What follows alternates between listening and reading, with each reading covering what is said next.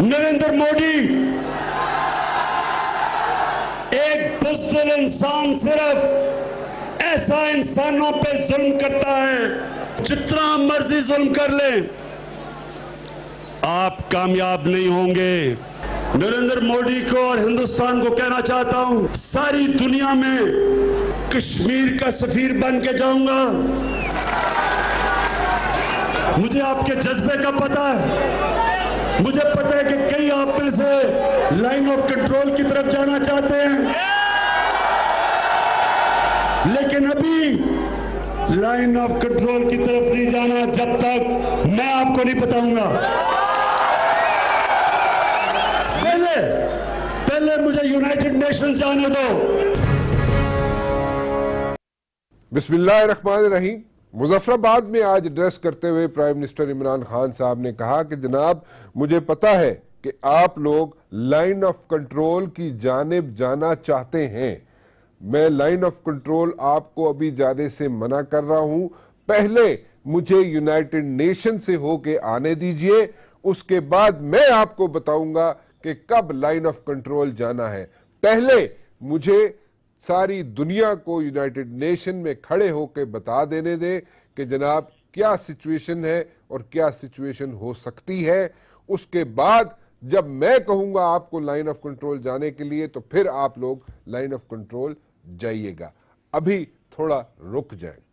Prime minister Imran Khan साहब ने Moody को यह भी कहा कि जनाब, ये जरा थोड़ा सा, जो वहमो गुमान में हो तुम, कि जनाब मूडी कि तुम यहाँ पे बहुत कुछ कर सकते हो और जिस तरीके से तुम हैंडल कर रहे हो ऑक्यूपाइड कश्मीर को इंडियन हेल्ड कश्मीर को, उस तरीके से तुम कश्मीर या कश्मीरियों को हैंडल नहीं कर सकोगे।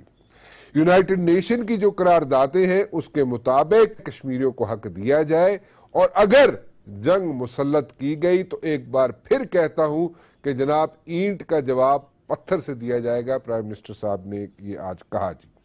आई वुड से कि सारी जो प्रिपरेशन है, सारी जो टेंपो बन रहा है, वो उस वक्त के लिए बन रहा है कि जनाब इमरान खान साहब ने जो यूनाइटेड नेशन में खिताब करना है, उस वक्त के लिए ये सारा टेंपो बन रहा है और इमरान खान साहब ने जो स्पीच करनी है वहाँ पे वहाँ पे बहुत एक्सपेक्टेड ये है कि इमरान खान साहब वहाँ पे बहुत चीज़ें वाजे कर देंगे दुनिया के सरबराहान के सामने और उससे आगे मेरे ख्याल में फिर बॉल जो होगी इंटरनेशनल कम्युनिटी के कोर्ट में होगी कि वो इस सारे इशू को कैसे सॉर्ट आउट करने की कोशिश करते हैं।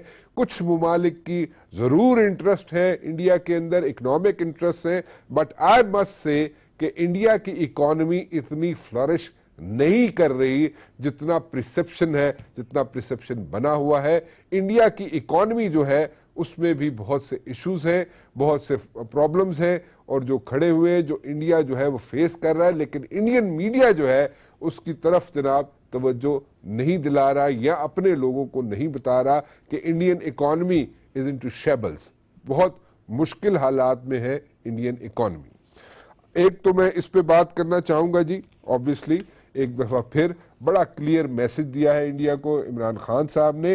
लेकिन साथ साथ मैं अगर यहाँ पे डोमेस्टिक लेवल पे भी बात करना चाहूँगा कि एक साल से जायद अरसा हो गया है जनाब पीटीआई की हुकूमत को और काफ़ी अरसा होता है एक साल लाइन और डायरेक्शन बनाने के लिए। क्या लाइन ऑफ़ डायरेक्शन यहाँ पे दुरुस्त हो गई है? सिमत ठीक हो गई है। इसमें आ, कुछ सवालात ऐसे हैं जिनके जवाब हम ज़रूर मांगना चाहेंगे। क्योंकि एक साल तक हमने बिल्कुल नहीं छेड़ा पीटीआई को। मैं अपनी ज़ात की बात कर रहा हूँ, कोई criticism for the sake of criticism नहीं किया। लेकिन आज मैं ये ज़रूर जानना चाहूँगा कि कुछ सवाल ऐसे हैं जिनके जवाब मुझे भी चाहिए और डेफिनेटली आपको भी चाहिए कि बिज़नेस कम्युनिटी यहाँ पे उसका कॉन्फिडेंस अभी तक शटर क्यों हुआ है, उसका कॉन्फिडेंस रिवाइव क्यों नहीं हो रहा। नंबर वन नंबर टू आवाम को पाँच चीज़ों में, सिर्फ़ पाँच चीज़ों में क्या रिलीफ मिला? बिजली के कीमतों पर रिलीफ मिला आवाम को? क्या आटा, दाल, चावल, चीनी उनको सस्ती मिली? नहीं मिली। अगर नहीं मिली तो क्यों नहीं मिली? ठीक है, मैं उस ब्लेम गेम को भी समझता हूँ। मैं सिर्फ़ उसको ब्लेम गेम नहीं लेता, लेकिन मैं उस चीज़ को भी समझता हूँ कि पिछले 10-11 साल में कुछ फैसले पीपल्स पार्टी की हुकूमत या नून लीग की हुकूमत ने ऐसे सख्त किए और ऐसी गलत बोरोइंग की, ऐसे गलत कर्जे लिए let me put it this way जिसका खमियाजा हम भुगत रहे हैं। लेकिन फिर भी, क्या आज लाइन ऑफ़ डायरेक्शन ठीक है? और अगर ठीक है तो उसके समरात अवाम तक क्यों नहीं पहुँच रहे? उसके असरात जो हैं, अवाम तक कब पहुँचेंगे? क्योंकि अवाम के सब्र का पैमाना लबरेज हो रहा है। ठीक है डॉक्यूमेंटेशन ऑफ़ इकोनॉमी जो है, एक बहुत अहम इशू है। और बहुत अहम ज़रूरत थी वक्त की और उसको जनाब बिल्कुल पीटीआई की हुकूमत ने किया, लेकिन डॉक्यूमेंटेशन ऑफ़ इकॉनमी के साथ साथ क्या बाकी चीज़ें जो हैं वो दुरुस्त हुई कि नहीं हुई? या होने जा रही है या नहीं होने जा रही? यही डॉक्यूमेंटेशन ऑफ़ इकोनॉमी आईएमएफ ज़रूर कहता रहा पीपल्स पार्टी को भी और नून लीग को भी, लेकिन उन्होंने नहीं किए। क्यों नहीं किए? इसलिए नहीं किए कि दे थॉट कि अनपॉपुलर डिसीजंस लेने पड़ेंगे, जिससे उनका वोट बैंक जो है कम हो जाएगा। लेकिन अनपॉपुलर डिसीजंस पीटीआई ने ज़रूर लिए। बहुत अच्छी बात है, लेकिन उसमें उनके उनके खिलाफ आवाज़ें भी उठनी शुरू हो गई। बिल्कुल उठनी शुरू हो गई, क्योंकि three prong strategy probably PTI भूल गई। क्योंकि लॉन्ग टर्म स्ट्रेटजी तो समझ आती है, लेकिन शॉर्ट टर्म स्ट्रेटजी और मिड टर्म स्ट्रेटजी पीटीआई की नज़र नहीं आ रही। सब चीज़ों पे मैं आज बात करना चाहूँगा जनाब। मेरे साथ मौजूद होंगे जनाब अली नवाज़ अवान साहब पीटीआई से सेनेटर जावेद अब्बासी साहब मुस्लिम लीग नून से, नाज बलोच साहबा पीपल्स पार्टी से। आप सबका बहुत बहुत शुक्रिया जी, आप लोग तशरीफ़ लाए। जावेद अब्बासी साहब एक साल तक हमने कोई क्रिटिसिज्म नहीं किया हुकूमत में मैं अपनी ज़ात की बात कर रहा हूँ। मैंने सोचा कि इनको टाइम देना चाहिए ताकि ये सेटल डाउन हो जाए ट्रैक पे आ जाए चीज़ें या ट्रैक पे ना भी आए तो एटलीस्ट कोई गाइडलाइन मिल जाए और उसके बाद थोड़ी सी एफिशिएंसी आनी शुरू हो जाएगी, दिखनी शुरू हो जाएगी और उसके ट्रिकल डाउन इफेक्ट्स जो अवाम पे आएँगे। अवाम को तो एज सच कोई रिलीफ नहीं मिला, ठीक है जी? जब रिलीफ नहीं मिला अवाम को तो आगे उसकी क्या उम्मीद रखी जाए या ना रखी जाए, क्योंकि अवाम के सब्र का पैमाना लबरेज हो चुका है। बट दैन अगेन एक जो आखिरी होप है, जो जो पीटीआई से या इमरान खान साहब से लोगों ने लगाई हुई थी, वो कहीं कहीं किसी न किसी जगह पे टूटती हुई नज़र आ रही है। लेकिन आप लोगों के साथ भी ट्रस्ट डेफिसिट है। ट्रस्ट डेफिसिट यानी कि मुस्लिम लीग नून के साथ भी एडमिनिस्ट्रेशन का let me put it this way trust deficit है। Partially I will use the word partially partially trust deficit है। सो so, आपकी तरफ़ भी झुकाव मुश्किल है। ठीक है? पीपल्स पार्टी की तरफ़ भी एज सच नज़र नहीं आता। तो कहाँ पे जाएँगे हम? बसमीम बहुत शुक्रिया राना साहब। राना साहब बिल्कुल आपने ठीक कहा कि एक बेंच मार्क खुद पी टी आई ने अपने लिए मुकर किया था। पहले उन्होंने नाइन्टी डेज़ का कहा फिर सिक्स मंथ का कहा। और यकीन पाकिस्तान के मीडिया ने बड़ा खुले दिल से बड़ा टाइम दिया उन्हें कि ठीक है, इन्हें वक्त दिया जाए। ये खुद भी कहते थे कि हमें एक साल दें तो हमें परफॉर्मेंस हमारी जो है, उसके बाद हमें जो है आप मॉनिटर करें कि क्या हमारी डायरेक्शन ठीक है, क्या हम जिस समत में जा रहे हैं वो ठीक है, क्या जिस रास्ते से हम जा रहे हैं वो बेहतरी है या नहीं राना साहब जितने भी हैं, इमरान खान साहब और उनकी जमात ने लोगों से वादे किए थे, पाकिस्तान की आवाम से वादे किए थे इलेक्शन कंपेन में या पिछले पाँच सालों में या उसके बाद जो उसके स्पीचेस की थी, उन्होंने कहा था कि मुझे एक थोड़ा सा टाइम दें मैं पाकिस्तान की जो इकानमी है इसको बेहतर कर दूँगा। लोगों के माशी हालात बेहतर कर लूँगा मैं लोगों को घर बनाने शुरू कर दूँगा। मैं लोगों को नौकरियाँ प्रोवाइड करना शुरू कर दूँगा। और मेरे आते हुए दुनिया का तमाम डॉक्यूमेंटेशन ऑफ़ इकोनॉमी जो है ना एक बहुत बड़ा स्टेप था जो लिया गया। इस हुकूमत ने लिया। मैं, मैं जो आप लोगों ने भी नहीं लिया और पीपल्स पार्टी ने भी नहीं लिया। डिस्पाइट द फैक्ट कि आईएमएफ ने आप मैं मैं उस मैं आ रहा हूँ। देखिए राणा साहब देखना आज क्या है। आज ये जो आपके लोग यहाँ बैठे हुए काम कर रहे हैं आप नीचे उतरते हैं आप जाते हैं पाकिस्तान का कामन मैन क्या सोच रहा है? एक है जो लीड क्लास है। आज आम आदमी को आप देखिए रेडी वाले को देखे किसी दुकानदार को देखे किसी बिजनेसमैन को देखे बड़े बिजनेसमैन यहाँ ब्लू एरिया में आप बैठे हुए हैं। किसी एक के पास आप चले जाए उनसे पूछें कि पाकिस्तान के माशी हालात क्या है। वो यकीन करें कि शदीद बुरहान का बिल्कुल ठीक कह रहे हैं। यानी बड़े बिजनेसमैन भी छोटे भी वो वजह क्या हुई है? वजह ये हुई है कि इस हुकूमत ने आते हुए जिन चीज़ों पर इन्हें तवज्जो देनी चाहिए थी, उन पर ये तवज्जो नहीं दे सके। वजह ये थी कि इनकी कोई टीम नहीं थी, तैयारी नहीं थी। सबसे बेहतरीन जिस आदमी को इन्होंने ब्लेंड किया था, इमरान खान से बात का दूसरा आदमी जो अपनी पार्टी में कहते थे, ये कहते थे, हज़रत उमर है। इमरान खान ने कहा, मैं वजी अजम बनूँ या ना बनूँ, ये मेरा वजी होकर इस मुल्क के हालात ठीक कर देंगे, प्राइम मिनिस्टर इमरान खान साहब ने कहा। आप देख लें कि छः महीने बाद उन्हें निकाला गया। और निकाला गया किस बात पर कि उन्होंने कहा कि ये डिलीवर नहीं कर सका। पहले छह महीने ये कहते रहे पुरानी हुकूमत की वजह से हुआ साहब बाकी जो मिनिस्टर्स हैं जिसको रेड मार्क किया हाँ, गया है उसका क्या होगा? उस पर भी मैं आ रहा था। वजह यही है कि एक्चुअली इनके पास अपनी टीम नहीं थी। इन्होंने उधार पर लोग ले लिए। जहाँ जहाँ से आदमी मिला उसको उठा लिया। एक टीम वर्क होती है उसे अपनी पार्टी का मंशूर है ये तो वैसे आप भी लोग भी करते रहे नहीं हमारे। हमारे थोड़े होते थे पाँच दस परसेंट चलते थे अच्छा। यहाँ नब्बे परसेंट है नाम ही पार्टी का हो गया। अस्सी अस्सी नब्बे परसेंट का अस्सी नब्बे परसेंट का चलना जो है बहुत है बहुत ही गंभीर मसाइल मतलब है आप थोड़े लेते थे बंदे नहीं हमने हम सिर्फ़ लेते थे वो जो स्पेशल स्पेशलिटी जिनमें होती लेकिन इन्होंने खास 80-90% technical थे। उधार। इन्होंने तो इन्होंने इनके तो कब्जा ही उन्होंने कर दिया अब बाईस इंपॉर्टेंट मिनिस्ट्री है मैं आपको बताता हूँ सबसे इंपॉर्टेंट मिनिस्ट्री क्या होती है? खजाने की ऑयल एंड गैस की। ताड़े ही बंदे सर। बंदे जिसके भी थे वो हेल्थ की हेल्थ पाकिस्तान के आप देख लें कॉमर्स देख लें ये सारी वो मिनिस्ट्रियाँ जिन्हें एडवाइजर लगा दे वो एडवाइजर जो असेंबली में भी नहीं आ सकते वो एडवाइजर किसी कमेटी में भी नहीं आ सकते। पाँच एडवाइजर को तो आपको कानूनी आईनी तौर पे आया कि वो अपने जा सकते हैं बाकी तो एडवाइजर अब बाईस मिनिस्ट्रियाँ इस मुल्क के उन लोगों के पास हैं। जिन लोगों के ना असम्बली में आ सकते हैं, ना कमेटी में आ सकते हैं, ना इलेक्ट हो सकें। और ये इनकी अपनी जमात के अंदर बड़े लायक लोग थे, बड़े अच्छे लोग थे, जिन्होंने बड़ी कुर्बानियाँ दी, उन सबको साइड लाइन कर दिया गया। यहाँ मामला इस हुकूमत का यह है कि एक चीज़ ये बड़े तवातर से कहा करते थे। ये कहा करते थे कि हम अंदरूनी मामला तो ठीक नहीं कर सके लेकिन हमारी खारजा पॉलिसी कमाल की है। मैंने कहा Okay, what हाँ नेक्स्ट वो बिल्कुल आपने जो बात कही है मैं उस पर इतफाक करता हूँ। आपने हमारी जमातों के बारे में भी जो कह दिया है मुझे ये नहीं पता राना साहब की होने वाला क्या है लेकिन मुझे एक बात का यकीन है कि पीटीआई की हुकूमत का पीटीआई का मतलब है कि इमरान खान साहब का एज ए वज़ीर आज़म जाना ठहर गया है। अब ये पक्की है। ये ये ये अब नहीं ये सेटअप इस तरह नहीं चलेगा।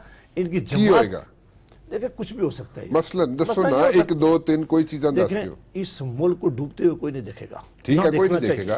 ना देखना चाहिए बिल्कुल ये ठीक है। मुल्क है हम सारे हैं तीन चीज़ें बता दे दो चीज़ें बता दे एक चीज़ बता दे मुझे नहीं पता मैं मैं मैं मैं ना करो ना मैं- फिर मैं- पता भी कोई नहीं मैं नाल हो मैं prediction प्राइम नहीं मिनिस्टर प्राइम रहा। मिनिस्टर नहीं रहेगा. मैं पॉलिटिकल कह? स्टेटमेंट नहीं मैं. मैं मैं. मैं मैं एक सियासी वर्कर हूँ Political statement मैं। सियासी असेसमेंट कर रहा तो हूँ वो अलीवान कह रहा है आप पॉलिटिकल स्टेटमेंट दे ठीक है उनकी अपनी मर्ज़ी है रा- वो अरीज नवाज़ साहब मेरा अपना ख्याल है कि जो बात आपने कही थी मैं उसकी तहीद करता हूँ। हैं आप बड़े बाखबर जर्नलिस्ट। आपको सारी बातों का पता होता है। चलो तो मुझसे- तो तो मुझसे नाज मैं भरोस से तो ना करवाएँ आप जिहा जरूर- एंकर है? एक बात ये तय कि इनका जाना ठहर गया अच्छा। अब सुबह गए या शाम चलो।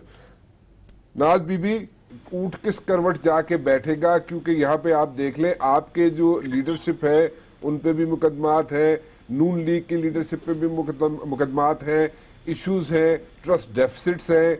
लेकिन फिर भी यहाँ पे जो पीटीआई की हुकूमत है, उसका एक साल से ज़्यादा अरसा हो गया। परफॉर्मेंस आपके सामने है। अवाम जो है, उसकी चीखें निकल गई। अवाम को कुछ नहीं मिला। और कोई यहाँ पे हमें कुछ समझ नहीं आ रही कि क्या ये सीधा रास्ते पे चल भी रहे हैं कि नहीं चल रहे। कहाँ पे जाके ऊँट बैठेगा जी? किस करवट बैठेगा? ऊँट को बैठेगा भी या नहीं बैठेगा कि दौड़ता ही रहेगा? बिस्मिल्लाहिर्रहमानिर्रहीम। मैं मजबूर होती हूँ इस बात के ऊपर कि एक एक पॉलिटिकल पार्टी जिसने दूसरी तमाम सियासी जमातों के चेहरे दागदार करके और उनके उनके ऊपर करप्शन करप्शन करप्शन करप्शन और चोर डाकू डकैत इससे नीचे की कोई बात नहीं होती थी। और ठीक है आपको अवाम ने वोट दे दिया आपने कहा सब बुरे हम बहुत अच्छे हमने आके पहले ही दिन 100 अरब ला के मुँह पे मार देना है बैरून मुल्क कर दिया और सौ अरब अपने अवाम के ऊपर लगा देना है। उन लोगों को आपने मिनिस्टर बना दिया। आज हम उनसे सवाल पूछते हैं कहाँ गए वो सौ अरब? तो फिर वो कहते हैं जनाब आप चोर डाकू डकेत लुटेरे आप लोग कुछ मत बोले। ठीक है आपने इसमें क्या गलत क्या है वैसे? आपने अदालतों में आपने जेलों में डाल दिया सब कर दिया। व्हाट नेक्स्ट एक साल के बाद भी अगर हम इनसे पूछते हैं कि आपकी परफॉर्मेंस क्या है कहते हैं जी वो चोर थे वो डाकू थे वो डकैत थे बड़ा मुल्क को लूट के चले गए। ये कब तक आपका ये मंत्रा चलेगा? आज आप अगर इनकी परफॉर्मेंस की बात कर लें तो इवेल्युएशन में क्या करूँ? 1100 अरब आपका सर्कुलर डेट था, वो 1700 अरब पे पहुँच गया सर्कुलर डेट आप कहते थे दूसरों को चोर डाकू डकैत तो आपने 600 अरब सर्कुलर डेट की मद में कैसे इजाफा हो गया? जब आपने बिजली के रेट के अंदर आपने तकरीबन 75 परसेंट टू 100 परसेंट इंक्रीमेंट आपने कर दी। तो जब आप आवाम से इतना पैसा ले भी रहे हैं और सर्कुलर डेट भी बढ़ रहा है तो my question is my question is कि फिर आपने कौम को झूठ क्यों बोला? लेकिन एक चीज़ तो एक चीज़ तो ठीक है ना नाज बीबी, कि आप अगर मैं सिंध की बात करूँ तो सिंध के अंदर कई प्रोजेक्ट्स ऐसे हैं, मेरे पास पूरी फहरिस्त में किसी वक्त शेयर ज़रूर करूँगा, कि कई प्रोजेक्ट दर्जनों के हिसाब से ऐसे प्रोजेक्ट्स हैं जो सिर्फ़ कागजों पे हैं। और वो करोड़ों, अरबों रुपए के प्रोजेक्ट्स हैं, ज़मीन पे उनकी कोई वो पता ही नहीं, सिर पैर ही नहीं है ज़मीन पे। लेकिन करोड़ों अरबों रुपए के प्रोजेक्ट सिर्फ़ कागजों में है। आपकी बात मान लेती हूँ। चले बड़ी मेहरबानी आप मेरी बात मान। राना साहब मैं आपकी बात मान लेती हूँ मैं आपकी बात से डिसएग्री नहीं करती लेकिन उसके लिए आपके पास अदालतें हैं उसके लिए आपके पास अकाउंटेबिलिटी है। जो हुक्मरान जमात है, उसका काम है परफॉर्मेंस और परफॉर्मेंस आप बुजदार के नाम पे देख रहे हैं पंजाब के अंदर।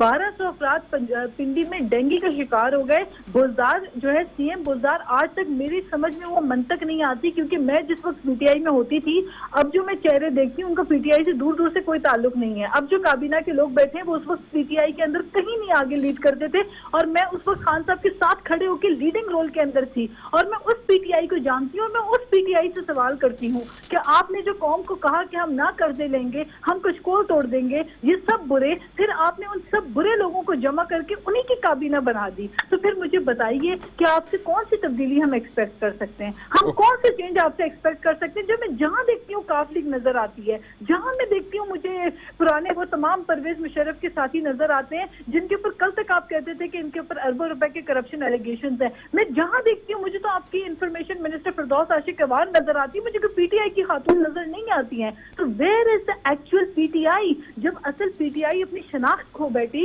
इतना कॉम्प्रोमाइज कर दिया तो रिज़ल्ट ये निकला कि आज आपके सामने परफॉर्मेंस नज़र आ रही है। बोजदार का दूर दूर से पीटीआई से कोई ताल्लुक नहीं था। आज पंजाब के लोग पूछते हैं हु इज़ मिस्टर बोजदार? उनकी परफॉर्मेंस क्या कहते हैं? प्लस- ठीक है प्लस- बीबी और दूसरी बात ये आप उनसे ये पूछें आप इनसे ये पूछें कि आप पंजाब के अंदर आईजी पे आईजी बदली कर रहे हैं डीपीओ पे डीपीओ आप बदली कर रहे हैं जो आपको मन मानी जी चाहते हैं सेक्रेटरीज पे सेक्रेटरीज आपने इतने तब्दील कर दिए कि किसी हुकूमत ने पंजाब में ऐसा जुल्म नहीं किया। आपका जो पावर अलांटो में हो जाता है एक एक ऑनेस्ट ईमानदार अफसर छापा लगा लेता है उसके अगले दिन उसको जो है आप ओएसडी कर देते हैं। नहीं वो तो मुझे देखिए ये सोसाइटी का एक इशू है क्योंकि सोसाइटी हाँ। का इशू ये है, नाज बीबी आपने अलांतों की बात की तो मैं इसलिए कर नहीं तो मैंने नहीं करनी थी। सोसाइटी का इशू ये है कि सूडो होगी ये सोसाइटी शराब जो है वो हर छवें घर में रात दस घरों में से छह घर रोज शराब यहाँ पे चलती है। ठीक है? तो और उसमें तो- से तो फलाई में से चार लोग जो है खुलेआम पीते हैं तीन लोग छुप के पीते हैं मैं दस बंदों की एवरेज के हिसाब से बात कर रहा हूँ। लेकिन मुझे समझ नहीं आती कि कौन सी टूरिज़्म होगी यहाँ पे कि जब एक होटल के अंदर बैठ के अगर कोई बंदा बैठ के कोई अगर कोई तो वहाँ पे अगर आप छापे मारने शुरू कर देंगे तो और वो भी चीफ कमिश्नर छापे मारेगा। और एसी जो है दो एसीओ की उसके जनाब बीच में गवाहियाँ डाली जाएँगी। आई फेल टू अंडरस्टैंड कि किस किस्म की यहाँ पे एक छोटी एक नाज बीबी I am sorry I am interrupting you एक ब्रेक लेनी के है एक ब्रेक लेनी है नाज बीबी एक ब्रेक ले लूँ ब्रेक के बाद वापस आता हूँ। तो मैं जनाब अली अवान साहब के पास जाऊंगा वो भी जवाब दे दें अब बहुत इल्जाम की बौछाड़ हो चुकी है जरा वो जवाब दे दें एक छोटी सी ब्रेक के बाद अली अवान साहब बौछाड़ होगी जनाब मेरी तरफ से भी होगी नून से नून की तरफ से भी होगी और पीपल्स पार्टी की कोई तरफ रह से नहीं होगी कोई रह रहा कख नहीं ਹੁਣ ਦੱਸੋ ਕਿ ਤੁਸੀਂ ਲੇਕਿਨ ਚਸ ਤੇ ਆਇਆ ਹੋਗਾ ਤੁਹਾਨੂੰ ਹੈ ਨਾ ਲੇਕਿਨ ਐਨੀਵੇ ਹੁਣ ਦੱਸੋ ਕਿ ਤੁਸੀਂ ਤੁਹਾਡੀ ਪਰਫਾਰਮੈਂਸ ਕੀ ਹੈ ਕੋਈ ਆਮ ਆਦਮੀ ਨੂੰ ਰਿਲੀਫ ਲੱਭਿਆ कि वो ही टूटता रहेगा। आप सर देखें मैं दो तीन बड़ी बड़ी चीज़ों की बात करता हूँ। मैं माइन्यूट चीज़ों में नहीं जाता। आप देखें इस मुल्क में जब हमें ये हुकूमत मिली थी उस मुल्क में साढ़े चार साल कोई फॉरेन मिनिस्टर नहीं था। और आपकी फॉरेन पॉलिसी का ये हाल था। अभी जवेद अब्बासी साहब बड़ी फ़ख्र से बात कर रहे थे। तो आपकी फॉरेन पॉलिसी का ये हाल था कि यू ही आपसे बात करना नहीं चाह रहा था। जब आप उसको भाई कहते थे और जाके आपने टर्की को वोट दे दिया था एक्सपो पे आपके साथ कतर बात करना नहीं चाह रहा था। सऊदिया आपसे नाराज़ था यमन के इशू के ऊपर। रशिया पहले चाइना के इंडिया के साथ खड़ा हुआ था और जो इंडिया का नैरेटिव था कि जो कहता था कि हम पाकिस्तान को आइसोलेट कर देंगे। और आपने उसको स्टैंप लगाई थी उफा कॉन्फ्रेंस के अंदर जब आपने उफा कॉन्फ्रेंस मोदी के साथ बैठे थे और आपने एक डिक्लेरेशन साइन की थी। उस डिक्लेरेशन में आपने मुंबई इन टैक्स की तो बात की थी बट कश्मीर की बात नहीं की थी। इस दफ़ा जो पाकिस्तान की फॉरेन पॉलिसी है, जैसे ही हमारी हुकूमत आई, हमारे पास दो हफ़्ते के फॉरेन रिजर्व्स बाकी थे। आपको जैसे कि पता है कि जिस मुल्क के पास चार महीने के फॉरेन रिजर्व्स ना हो, उसको दुनिया में दिवालिया कंसिडर किया जाता है। तो आपकी हेल्प कतर ने की, आपकी हेल्प सऊदी अरब ने की, आपकी हेल्प यूएई ने की, आपकी हेल्प चाइना ने की, मलेशिया आपके साथ खड़ा हुआ। और फिर जब कश्मीर का इशू आया तो आप ये देखें कि जो 54 ईयर्स से सलामती काउंसिल में कश्मीर की बात नहीं हुई थी आपने एक लाहौर डिक्लेरेशन और सेकेंडली जो आपने शिमला माहिदा किया था, जिसमें आपने डोज कर दिया था बायोलेट्रल इशू है ये। उसको थर्ड इंटरनेशनल मेडिएशन इंटरनेशनल उसके लिए विंडो ओपन हुई, जो आपकी 1948 की रेजोल्यूशन है। वो पी फाइव वहाँ बैठा और जिसमें पहली दफ़ा रशिया ने स्टैंड लिया कि बायोलेटरल तौर पे होना चाहिए और उसके अंदर इंटरनेशनल मेडिएशन होनी चाहिए। फिर इंग्लैंड उसने कहा जो ह्यूमन राइट्स वायलेशन हो रही हैं, उसकी इन्वेस्टिगेशन होनी चाहिए। और ये पूरा इशू हाईलाइट हुआ। कल 58 कंट्रीज़ ने जो आपकी ह्यूमन राइट्स काउंसिल है, उसने इंडिया को कहा है, उसकी जो आपने फाइंडिंग्स पढ़ी हैं कि आपको वहाँ से कर्फ्यू लिफ्ट करना चाहिए, वहाँ ह्यूमन राइट्स वायलेशन हो रही हैं, वहाँ कम्युनिकेशन के जराए ओपन होने चाहिए और इस इशू पे मेडिएशन होनी चाहिए। ये सारी की सारी चीज़ें, आप भी देखें ना इंडिया भी अपनी कर रहा है, आपको पता है जब भी ये इशू उठता था रशिया वीटो कर देता होता था कोई ना कोई मुल्क इसको वीटो कर देता था ये इशू को हम लाइमलाइट में लेके आए हैं और ये जो काम मोदी ने किया है इन ताला इसकी रिप्रिकॉशन भी मोदी को खुद ही फेस करनी पड़ेंगी। उसके बाद मैं इकोनॉमिक्स पे आ जाता हूँ फाइनेंसिस पे आ जाता हूँ। यहाँ पे मेरे सवाल मैं फॉरन पॉलिसी फॉरन पॉलिसी पे आप ज़रूर जाइएगा। देखिए बात यह है कि आपने जिस तरीके से कश्मीर का इशू जो है इंटरनेशनली इस छोटे से अरसे में आपने उजागर किया बहुत अच्छा किया। इसमें कोई शक नहीं। ठीक है इसमें कोई शक नहीं है। ठीक है बट देन अगेन मेरा सवाल ये हैं कि क्या आपने अपनी जो फ़र्स्ट लाइन ऑफ़ डिफेंस है जिसको आप डिप्लोमेसी कहते हैं क्या आपने उन लोगों को बुलाया जिनको आप एम्बेसडर्स कहते हैं जो आपके जो डिप्लोमेट्स हैं उनको बुलाया या उनको आपने इंगेज किया? एक मिनट एक मिनट मेरी गुजारिश सुन लीजिएगा। उसमें आपने क्या उन लोगों को ब्रीफ किया कि उन लोगों के ऑब्जेक्टिव्स क्या हैं? वो कैसे अचीव करना है? उन्होंने क्या अचीव करना है? उन्होंने और कहाँ कहाँ पे कौन कौन से मुल्क में किस किस को जाके उन्होंने अपना मुद्दा बयान करना नंबर वन ठीक है आप अच्छे जलसे किए आप यूनाइटेड नेशन के सामने भी बहुत अच्छा जलसा करने जाएँगे वहाँ जलसे से मुराद आप बहुत बड़ा एक डेमो करेंगे बहुत अच्छा करेंगे। इस, इस मसले में जलसे जुलूसों में आप लोग बहुत अच्छे हैं मतलब पीटीआई बहुत अच्छा है इसमें कोई शक नहीं है। But my question stand there कि इसका रिज़ल्ट क्या है। मैं बात है why is the international community not like like this with you जैसे कि होना चाहिए था? सर देखें टेक्स टाइम इंटरनेशनल देखें ये आपका गैप कितना बड़ा है। आप मुझे ट्रंप ने आप मिले जो आपके ताल्लुकात अमेरिका से पहले रहे हैं जो कोल्ड वॉर जिसको आप कहते हैं आपने हमेशा सर्द मेरी रही है उसके दरमियान आज आपका ट्रंप उठता है और आपके टू नेशन थ्योरी को इंडोर्स करता है। आप कह रहे हैं कमेटीज आपने ना सिर्फ़ जो अपने एम्बेसिडर्स हैं उनको ऑन बोर्ड रखा हुआ है उनको लाइंस दी हुई हैं। आपने आपके एम्बेसडर जो है मिनिस्ट्रों मिनिस्ट्रों को मिनिस्ट्रों को शॉपिंग या गाड़ियाँ देने के अलावा भी काम कर रहा था मैं फॉरेन डेलीगेट्स जो है जो फॉरेन डेलीगेशन में पहले रहे हैं एम्बेसडर्स रहे हैं उनके ऊपर कमेटी बनाई गई है। उसके बाद उनको ऑन बोर्ड रखा गया है। ऑपोजिशन एक कमेटी बनाई गई है जिसमें नवीद कमर साहब हैं और मुशाहिदुल्लाह साहब हैं मुशाहिद हुसैन साहब हैं नून लीग की तरफ़ से। उनको ऑन बोर्ड रखा गया है।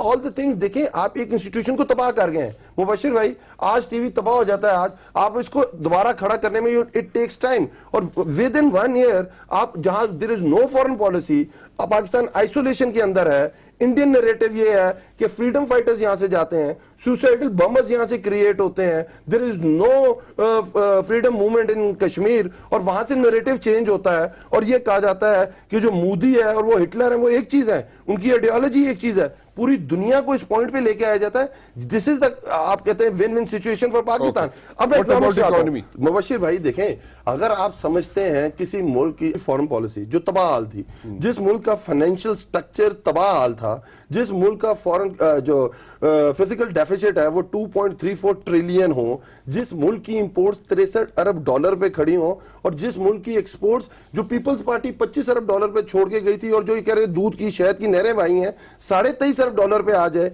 आपका ट्रेड डेफिसिट 39 बिलियन डॉलर्स पे खड़ा हो और आप कहें कि आप एक साल के अंदर पूरी इकोनॉमी रिवाइव कर देंगे। अब मैं एक और शो में था, मैंने उनको यही बात की, पाकिस्तान के पास पावर नहीं है। दुनिया में अगर पाकिस्तान को ये पावर दे दी जाए state bank of power state bank of Pakistan को पावर दे दी जाए कि वो डॉलर छाप सकेगा तो फिर तो पाकिस्तान की बहुत ज़बरदस्त इकोनॉमी है छोड़ अच्छा। साढ़े उन्नीस अरब डॉलर का जिस मुल्क का करंट अकाउंट डेफिसिट हो और जब हमारी हुकूमत आए और उसके सिर्फ़ दो हफ़्ते के फॉरन रिज़र्व हो तो आप क्या समझते हैं कि वो मुल्क किस तरह चलेगा अच्छा। आपके जो बरादर ममालिक हैं अगर वो आपको हेल्प आउट ना कर दे मैं क्लियर कट कह रहा हूँ कि आप दिवालिया थे साढ़े उन्नीस अरब से आप तेरह अरब डॉलर पे अपना करंट अकाउंट डेफिसिट लेके आए। ट्रेड डेफिसिट कल न्यू आप डाउन की आज की या कल की खबर है। ट्रेड डेफिसिट आप उनतालीस अरब डॉलर से आप उसको बत्तीस अरब डॉलर पे लेके मेरी गुजारिश सुनिए ना? बिज़नेस कम्युनिटी जो है वो क्यों पैसा पंप नहीं कर रही? उसका ट्रस्ट क्यों शटर हुआ हुआ है टाइम देखिए कितना टाइम चाहिए सर मुबशिर भाई आपकी बात बिल्कुल ठीक है कि आप वो जो इन्वेस्टमेंट देखना चाह रहे थे पहले सर वो नहीं हुई। जो कल के जो स्टेट बैंक के फिगर्स आए हैं कि आपने अपना करंट अकाउंट डेफिसिट को काबू किया आपने अपने ट्रेड डेफिसिट को काबू किया। अब आपकी जो एक्सपोर्ट्स हैं हम जो एक्सपेक्ट कर रहे हैं इस फाइनेंशियल ईयर के क्लोज होने पे जो ये साढ़े तेईस अरब डॉलर पे छोड़ के गए थे वो 26.20 26.30 पे जाएँगी। जवाब ले ला। सारे जवाब लगा नहीं नहीं मैं उन इल्ज़ाम ही तला नहीं मैं इल्ज़ाम भी लाओ। बिल्कुल लाओ। इल्ज़ाम भी लाओ। मैं एक ब्रेक ले ला फिर वापस आओ, आओ आओ, ठीक है? एक ब्रेक जो इल्ज़ाम लगे थे उसके जवाब मिल गए। लेकिन आप लोगों पे जो इल्ज़ाम लग रहे हैं यानी कि नून लीग पे और पीपल्स पार्टी पे वो मैंने इनको रोक दिया अभी। वो आखिर में लगाएँगे। शहबाज गिल साहब ने रिजाइन कर दिया। ठीक है जी। और उसके अलावा जनाब पंजाब में पंजाब की हुकूमत में मजीद चेंजेस आ रही हैं। उन्होंने रिजाइन नहीं किया उन्से उन्हें बहुत पहले कहा गया था कि आप रिजाइन करें आपको लगाया किसने है? क्या बहुत मतलब किसने जी, जी, लगाया? जी, बहुत हाँ मैं मैं मैं खबर दे रहा हूँ आपको अभी आएगी। उन्होंने बहुत सारे कहा कि आप कौन होते जाके पॉलिसी स्टेटमेंट देने शुरू हो गए थे। हाँ। हमारे यहाँ एक आदमी को अगर किसी वगैरह लगाते हैं ना वो बहुत आगे निकल जाता है।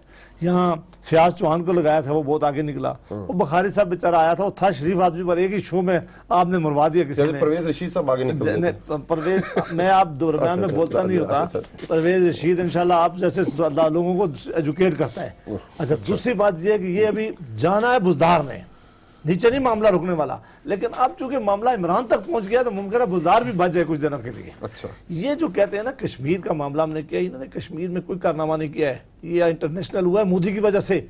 अगर मोदी आर्टिकल 370 और 35 ए न करता ये इन्होंने नाम भी नहीं लेना था। ये वो प्राइम मिनिस्टर है जब मोदी का इलेक्शन हो रहा था उसने कहा मैं मोदी को मुबारकबाद दूँ।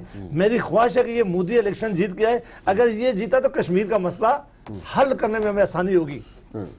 ये कहते हैं कि आज सबसे बड़ी अंडर एस्टिमेट करके अंडर एस्टिमेट भी करके दूसरी बात जो बड़ी आज एक महीना सात दिन हो गए हाँ। दुनिया के सबसे बड़ी जेल मकबूजा कश्मीर में उसने मुसलमानों को रखा हुआ है। हाँ।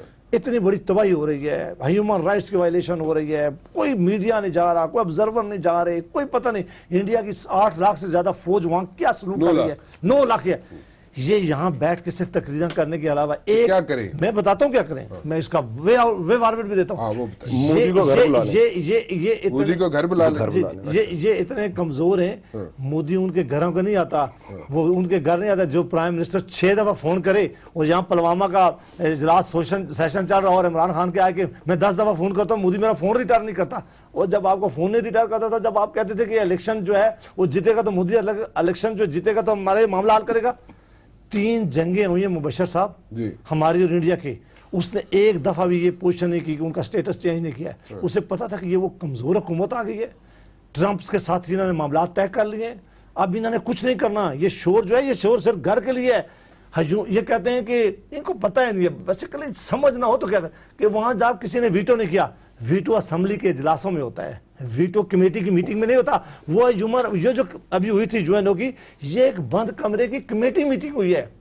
तो पहले क्यों आप तो आप तो जानते हैं इसलिए कि पहले कभी मोदी ने इतना बड़ा काम भी नहीं किया। 2015 से pellet guns के साथ attacks हो रहे हैं। नहीं अटैक होना और बात है। उधर freedom सुन तो चल रही है। वाली उधर शहीद हो रहा है। सुन तो- कंबोशन से यहाँ पकड़ा जा रहा है। मोदी यहाँ शादी पे आ रहा है। जनरल को अपना दोस्त बुला ले। आप बात क्या करें? ऊफा कन्वेंशन में ऊफा कॉन्फ्रेंस में आप कश्मीर का नाम ओमिट करके आप मेरे भाई आपने आपने वक्त पे आपने वक्त पे बात मतलब कर। मैं समझाता हूँ। आज सत्तर साल बाद सत्तर साल बाद उन्होंने कश्मीर को अपना कश्मीर का हिस्सा बना लिया ले लिया। पहले तो अटैक होते थे। गैरतमंद वजी आज़म होता और कौम होती है ना तो खड़ी होती कि आज तुमने हमारी अटैक करके कश्मीर अपने? वापस ले लिया। है कर आप कह सकते क्या करें, बताएँ? कर तीन चीज़ें ये कर सकते हैं। Number one ji. उसी दिन रात को जी। पाकिस्तान में जितने एम्बेसडर थे उनको बुलाना चाहिए था फॉरन ऑफ़िस में। प्राइम मिनिस्टर ने खुद आको ब्रीफ करना चाहिए था। नंबर वन अच्छा। दूसरे दिन प्राइम मिनिस्टर खुद भी निकलते।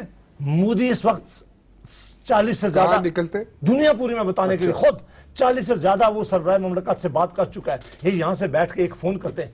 उनका वज़ीर खारजा इस वक्त साठ मुल्कों का दौरा कर चुका है। ये काम करने के बाद ये पहली दफ़ा एक दफ़ा से चाइना तशरीफ़ लेके गए और एक दफ़ा वहाँ लेके एक पार्लिमानी वफद ये अभी तक अपना नहीं भेज सके किसी किसी दुनिया के किसी मुल्क के हेडक्वार्टर में। ये क्या हुआ जनाब? मुबशर साहब आपसे ज़्यादा कौन जानता है?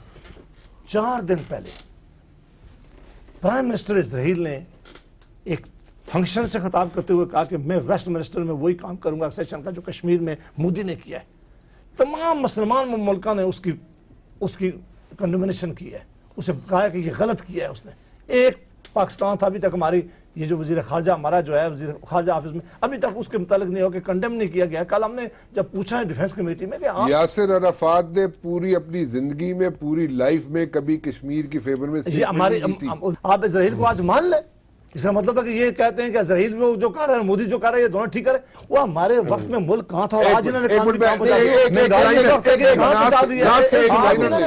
है, मैं सिर्फ़ ये जानना चाहूँगा कि आपको कोई आगे होप नज़र आती है, क्योंकि इसमें सबने हिस्सा डाला हुआ है अपना अपना ठीक है? नून लीग ने भी डाला हुआ है पीपल्स पार्टी ने भी डाला हुआ है, और आज इन्होंने साल में जो कुछ भी नहीं किया इन्होंने, पीटीआई वालों ने, वो भी हिस्सा इनका डाला हुआ है। सो सारों ने एक ही काम किया हुआ आपके पास टाइम ज़्यादा था, नून लीग के, नून लीग के पास भी टाइम था, इनके पास कम है, लेकिन इन्होंने भी कोई कम नहीं किया यहाँ पे काम।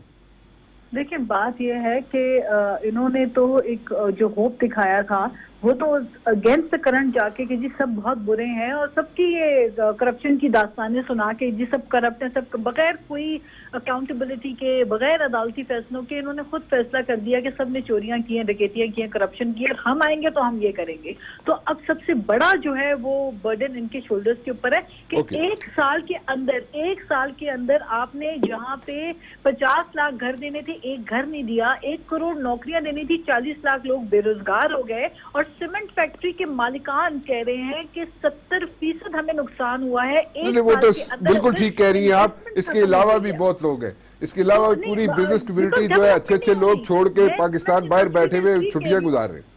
राणा साहब सीमेंट इंडस्ट्री का मैं इसलिए कह रही हूँ क्योंकि डेवलपमेंट आपने खत्म जी बिल्कुल ठीक कह रही हैं आप बिल्कुल ठीक काम नहीं हो रहे तो फिर ये विजन कहाँ हम लेके जाएँगे? कौन सा विजन है? Okay, you have no hope. फिर अब वो In other words. 10,000 अरब एक साल के अंदर दस हज़ार अरब कर्जा इन्होंने ले लिया तो आप पे कितना किया?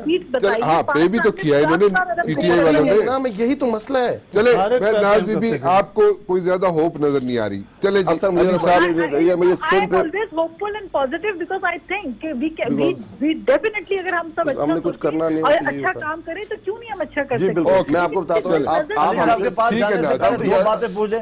कि बुजदार की मौजूदगी में और चीफ मिनिस्टर खैबर पख्तूनख्वा की मौजूदगी में क्या मुल्क क्या सूबे ठीक हो सकते हैं? ये दिल से हाथ पर रख बता कर सकते। हैं मैं आपको बता देता और जो पंजाब में इस वक्त करप्शन है और जो पंजाब में बुरी हुकूमत है और जिस तरह रोज आप अफसर तब्दील करते बुजदार उस वक्त ठीक हो सकता है जब उसकी और उसकी पूरी फैमिली के अकाउंट में 99 परसेंट जो आमदन शो करें वो टीटी बेस्ड हो।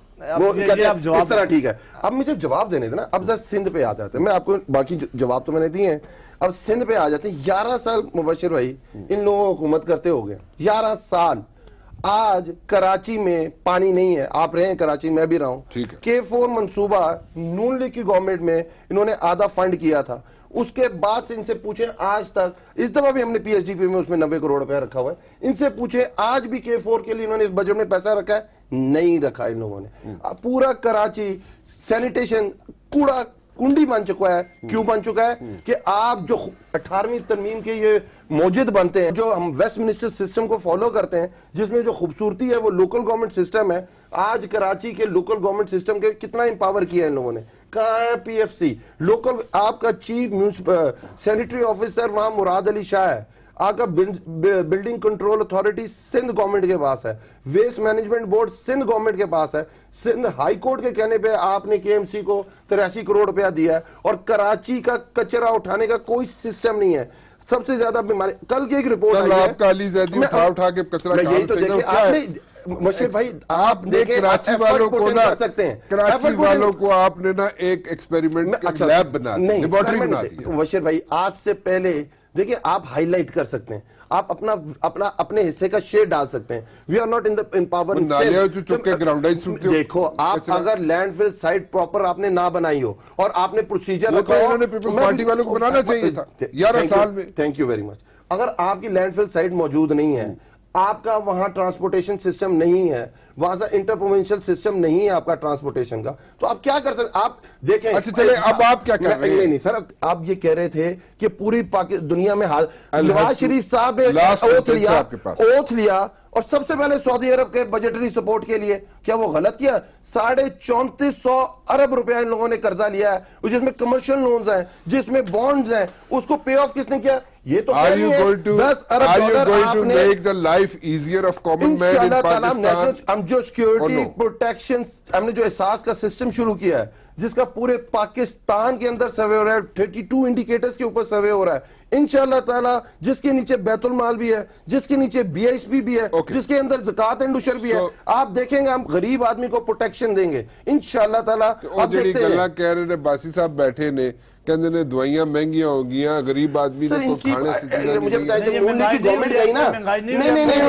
एक बात बिल्कुल क्लियर कर क्लियर बात कर नून लीग ने कोई अच्छे काम नहीं किए लेकिन सवाल जवाब पहले साल की परफॉर्मेंस पहले साल से चेक कर लेते हैं पहले साल की परफॉर्मेंस पहले साल से चेक कर लेते हैं पीपल्स पार्टी के दौर में 25 परसेंट महँगाई हुई। सर, एट परसेंट इनकी तो महँगाई हुई। basically- इनकी जो डॉलर इन्होंने होना नहीं है करना कुछ नहीं है होना इनसे कुछ नहीं है करना कुछ नहीं है। आपने क्या किया? अच्छा, अच्छा मुझे क्या गुरबत पचास परसेंट पावर्टी लाइन से लोग नीचे रहते थे जिस वक्त इनकी गवर्नमेंट खत्म हुई गाली देने में मास्टर है। पचास ये दूसरे को बुरा कहने में दूसरे को इल्ज़ाम है मैंने कोई ना सुन तो मैं इनकी बात इस तरह एक तीन आदमी थे सोए हुए थे एक आदमी ने उठ के सुबह सुबह तहजद पड़ी।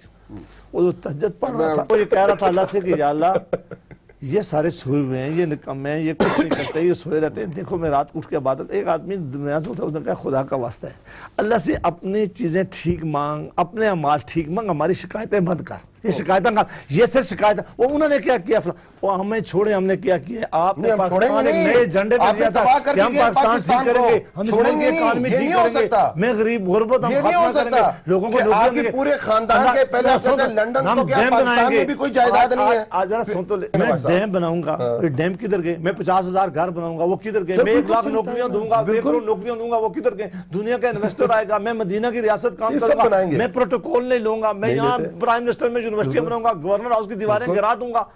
ये सारे वो झूठ थे जो इन्होंने इस कौम के लोगों के साथ किए। लेकिन अच्छा ये हो गया ये जितना एक साल में पीटीआई और ये एक्सपोज हुए इतना कोई आज तक पाकिस्तान में